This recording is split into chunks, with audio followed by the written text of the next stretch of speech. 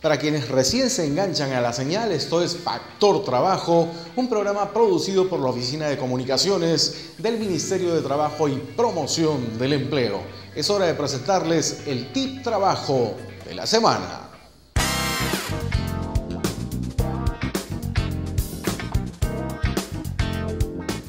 Amigos, bienvenidos. Esta es la secuencia del tip laboral de la semana.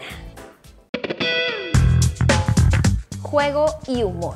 Estudios realizados sobre el clima organizacional han demostrado que la mezcla de dos mundos, el serio corporativo, responsable y profesional, con el creativo, relajado, espontáneo y divertido, logra resultados extraordinarios.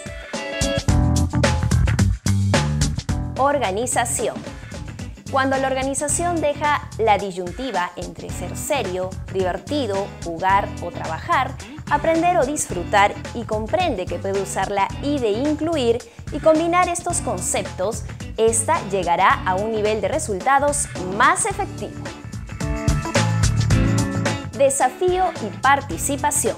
Definitivamente las organizaciones pueden aumentar la productividad y creatividad de las personas en la medida en que éstas participen en la construcción de sus objetivos corporativos aumentando su capacidad de retarse y comprometerse con los mismos.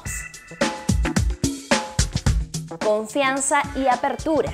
Solo cuando es posible construir con el otro sin temor a ser traicionado, se puede pensar en un ambiente ideal para el desarrollo de la innovación el temor a ser defraudados y traicionados en la generación de nuevas ideas o proyectos es uno de los grandes obstáculos que impiden el desarrollo de una cultura de innovación y creatividad.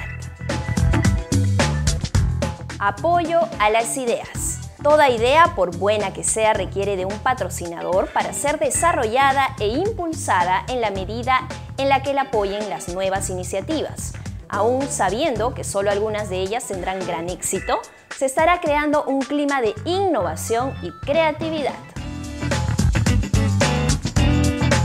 Toma riesgos. La capacidad de tomar riesgos y actuar es una característica de las organizaciones y equipos creativos, innovadores y de alto desempeño. Aquellos que prefieren la filosofía planear hacer son más efectivos en sus resultados. Bien amigos, esta ha sido la secuencia del tip laboral de la semana. Nos vemos el próximo domingo. Chao.